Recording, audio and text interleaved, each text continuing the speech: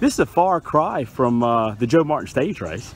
Yeah, it's, it's it's a very much different type of racing here. You know, like the heat's so much different, and like the parcours is different, and also it's a pro level race. So just like yeah, stoked to be here, but you know, like still stoked to go to race in Joe Martin. Got like a few presents there, so be stoked to go there too. You know, obviously this is a this is a great race, and and Canadians have done quite well here. I think off yeah. the top of my head, most recently Adam DeVos has done quite well. Yeah. Another. Uh, uh, Tour de Beauce great uh, as well. Uh, talk to me about what makes this race so special and, and how hard it is to, especially for a Canadian, to acclimatize to this sweltering heat. Yeah, I think what especially this year makes the race so special is actually the 25th anniversary of this race.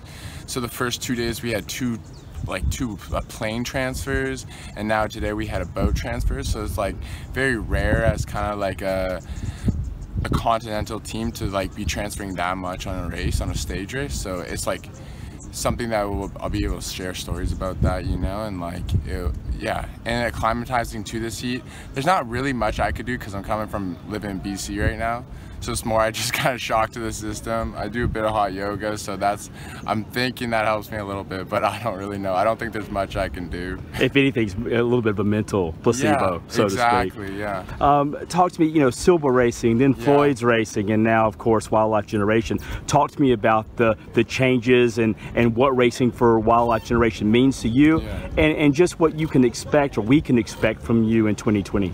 Yeah, you know, like I was on Silber for a while, and that was an under 23 specific Canadian team, and that had a very, you know, young, young kind of vibe to it. And when I went to Floyd's, it was a much older vibe with a lot of experience and a lot of guys who had like a bunch of good results. But that actually really helped me shape myself as a rider. And now, kind of coming back to an under 25 American team, I feel like I kind of like help all these kind of younger guys or even guys my age, but I just feel like I have a little bit more experience than them sometimes where I can kind of portray what I've learned from Floyd's and that sort of stuff, and like from guys like Johnny Clark and Travis McCabe, just kind of really kind of grooming me into like the rider I am now. And, and I think this year, like with the opportunity we got here with these guys, I think especially wildlife this year, we have a good chance of really getting some like results in America, especially coming off like an, a 10, it will be 10 days in a row of racing here. So like coming off that early February, like by Redlands, Joe Martin, like we are kind of joking about, like we'll be ripping, you know. And, will we see you guys at California or at Utah or? Yeah, unfortunately there's no California this year, but we'll, we'll be at Redlands and then we'll be at Utah, of course, you know, representing. But yeah, and, I, and especially to have like like I said, kind of this big of a stage race early, it doesn't put such a shock on the system to have like Utah. Doesn't seem as big you know what I mean? Because it's still a same a pro level race, right? And, and what kind of results you, are you looking for most, you know, for 2020 and, and on your upcoming program, at least in the in the short term? Yeah, like I would love to like win overall of a, like a few like the American kind of 2.2s.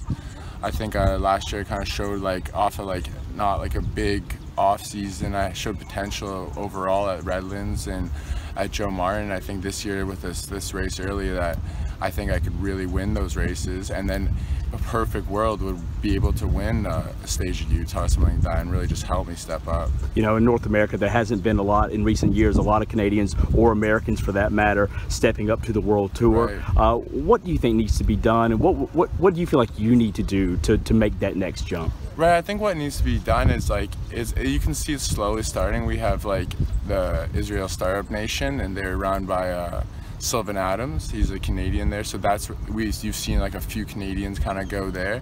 But as like Canada seems so big, but yet in the World Tour scheme is very small.